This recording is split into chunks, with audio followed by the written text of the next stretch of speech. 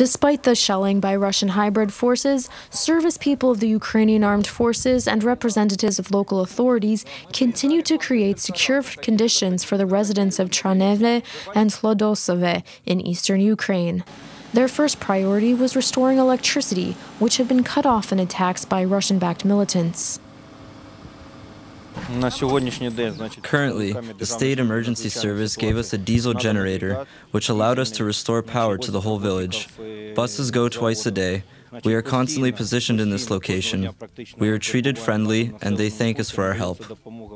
Shelling is not the only danger caused by the Russian militants. With their local economies and infrastructure damaged by war, hunger is as real a problem as enemy fire.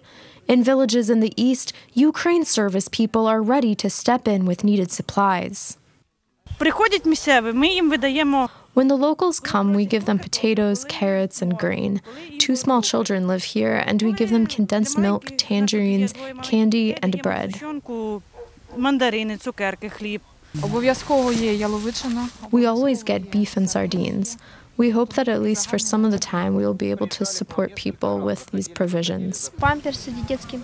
Diapers, baby food, the military get me anything I ask for. They're really helpful. Russian propaganda would have people believe that Ukrainians in the East are being forced from their hometowns by Ukrainian government authorities, that they are oppressed by their government, and that they desire to be made citizens of the so called Donetsk People's Republic.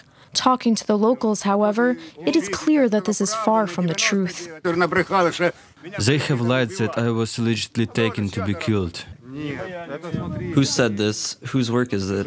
Ukrainian journalist made a truthful report, and the Russians changed it and distorted the information. How did they know about this? They also watch the TV and then they use our footage distorting the reports. Just beyond the horizon, the militants are in position, along with their vehicles and armaments.